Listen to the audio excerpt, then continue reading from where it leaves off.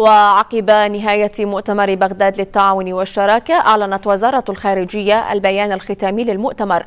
إذ أعرب المشاركون بحسب البيان عن شكرهم وتقديرهم لجهود جمهورية العراق بعقد ورعاية المؤتمر وعبروا عن وقوفهم إلى جانبه حكومة وشعبا وشددوا على ضرورة توحيد الجهود الإقليمية والدولية بالشكل الذي ينعكس إيجابا على استقرار المنطقة وأمنها.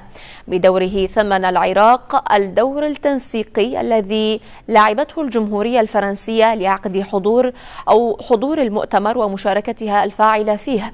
ورحب المشاركون بالجهود الدبلوماسية العراقية الحثيثة للوصول إلى أرضية من المشتركات مع المحيطين الإقليمي والدولي في سبيل تعزيز الشراكات السياسية والاقتصادية والأمنية وتبني الحوار البناء وترسيخ التفاهمات على أساس المصالح المشتركة.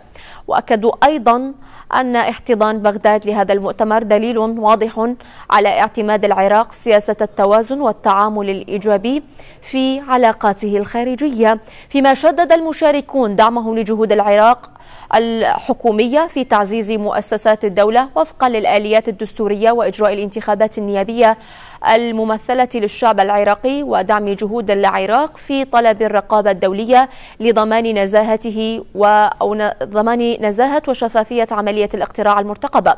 فيما قرر المشاركون بأن المنطقة تواجه تحديات مشتركة تقتضي تعامل دول الإقليم معها على أساس التعاون المشترك والمصالح المتبادلة وفقا لمبادئ حسن الجوار ودعم التدخل في الشؤون الداخلية للدول واحترام السيادة الوطنية.